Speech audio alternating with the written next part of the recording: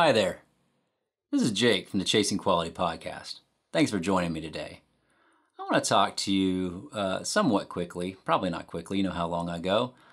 I'm going to talk to you about the Eylar, I think that's how you pronounce it, the Eylar uh, hard case, uh, waterproof carrying case. Uh, it's similar to a, a, a, Pelican case. I think Pelican's kind of turned into a, a, Xerox-like term where everybody kind of refers to all of these cases as a Pelican case. Uh, this is a pretty great case that I got um, on uh, Amazon for $79, I think, very large, uh, and I use it for carrying my portable audio equipment. It's ideal uh, for that purpose, and um, I think the equivalent Pelican case probably would have cost about $180, $170, so I think it was a really great deal what I got. Um, so let's go ahead and open this thing up and check it out, and I'll show you uh, what I'm using it for. Okay, so it's uh, it is a, it is somewhat heavy. Uh, it starts off heavy, and of course, once you have gear in there, it's a little bit heavier. Uh, but it's got it's it's supposed to be waterproof. I haven't tried it out, but it's supposed to be waterproof. It's got four latches, sides, and front. It does have uh, spots for locks here if you want to lock it up. Uh, there you go. So let's open it up, and um, it's got foam at the top. Uh, that foam. One thing I don't like is that the foam is just kind of loose. It just kind of falls out. Um, it's okay, uh, but it's a little bit annoying when I'm trying to put stuff in there. So I'm gonna go ahead and take that out and put it to the side because uh, it's just gonna get in our way. So let's lift this thing up now. So I can show you what I've got in here. Okay, so in here, uh, first this is my H4n instruction book. I'm not very good at that, uh, my Zoom H4n yet, so I keep the instruction book handy. Um, but I'm able to fit, this is pretty deep too. It, it, it it's it's got, um, I don't know, I say it's probably about five or six inches deep. I don't have the specs with me handy, but it's pretty deep.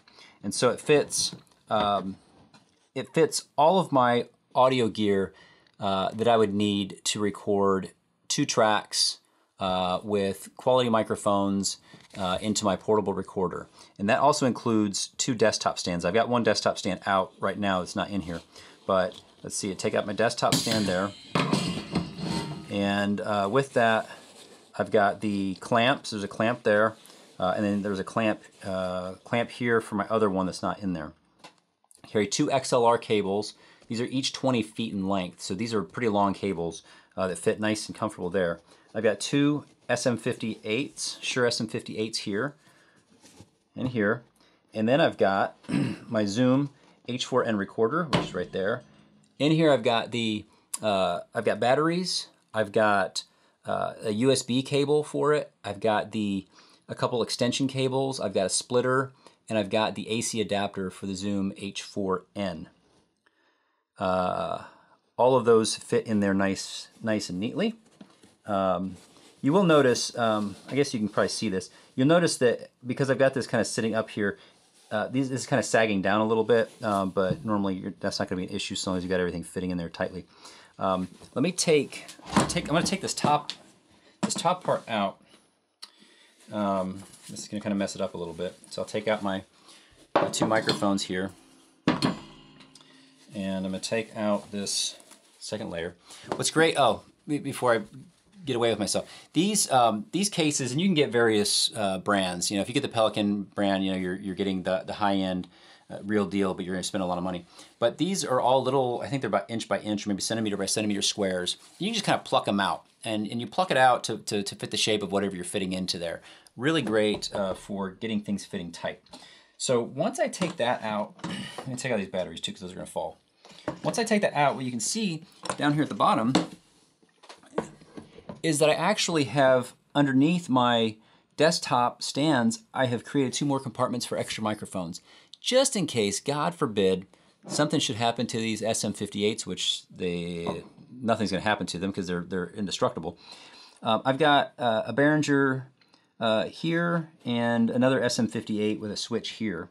Uh, so you're able to fit more down in here. I could have put them up here, but I actually have a spot. I've got this spot right here um, I haven't quite decided what I'm going to put there yet. Uh, I could fit another, probably one more microphone, probably not two. I could probably fit one more microphone there. Um, but I could fit something else there and I've got the full depth here. So it's pretty cool how much I'm able to fit into there, um, you know, without much trouble. Now this is not, it's not a lightweight uh, case by any means, but that's not what it's meant to be. It's meant to be uh, water, you know, um, waterproof, a waterproof carrying case for expensive gear. And this, it's not so much that this gear is expensive. This isn't necessarily high end. This is, you know, all all said and when all said and done, we're talking maybe four hundred dollars, five hundred dollars worth of equipment. Uh, so I mean, it's expensive, but not, you know, professional grade equipment. Um, but what I like is that it keeps everything handy. Okay, I don't. I'm not going to use this at home. I'm going to use this when I'm going somewhere to record. If I'm going to go outside, if I'm going to a different location, uh, if I'm going to take this over, to try to record RJ somewhere else. Uh, I can fit everything in here and have it ready to go. This fits down in there. And have it ready to go.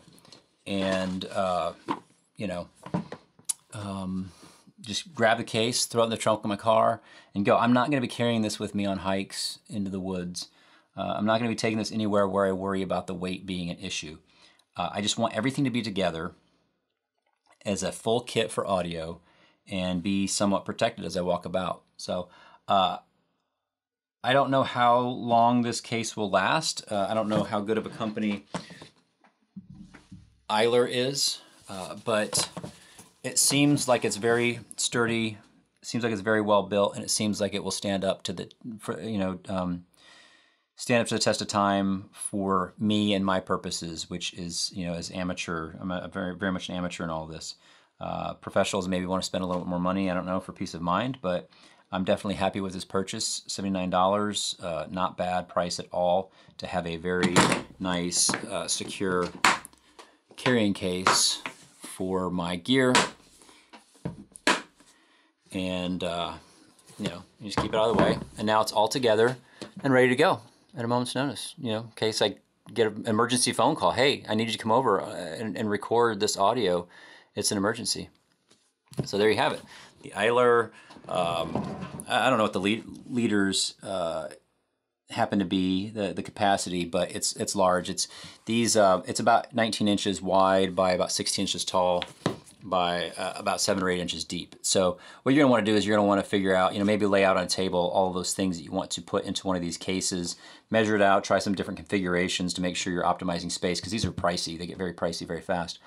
Uh, and then you know measure it out and then go online and figure out what case is going to uh, facilitate uh, the gear that you need. Just keep in mind the depth. What I liked about this one is it was deeper, and because it's deeper, I've actually I could I could have stored the zoom uh, at um, you know on its edge, and that would have allowed me to kind of slip it in there. But I wanted to be able to protect all the cables behind. Not really protect them. I wanted to keep them secure behind it. So when I pull the zoom out, then I have access to all the cables that I would need for it. Uh, but yeah, this is this fit me perfectly, and I really wanted to carry these desktop stands, uh, these little scissor stands that uh, mount to a desk. So if I if I'm recording somewhere, uh, I can easily mount them, uh, and I've got everything that I need. Honestly, uh, the, Zoom is battery powered. Got the XLR cables. It's 100% portable. very great. So there you have it, the Eylar waterproof case. If you got any comments, questions, or you know you just want to harass me a little bit, that's cool. Go ahead and leave some comments below. Uh, I'd appreciate that. If you haven't checked out our podcast yet, please do. Chasing Quality Podcast on uh, Stitcher, Spotify, iTunes, all those major platforms. You can find us. Uh, we'd love, love to have you along for that little journey of ours uh, where we talk about politics, philosophy, uh, various other topics, and you know relationships, and just figuring out life. Um, I think that's all I got to say about that. So until next time, you keep chasing that quality because you know I will. Bye bye.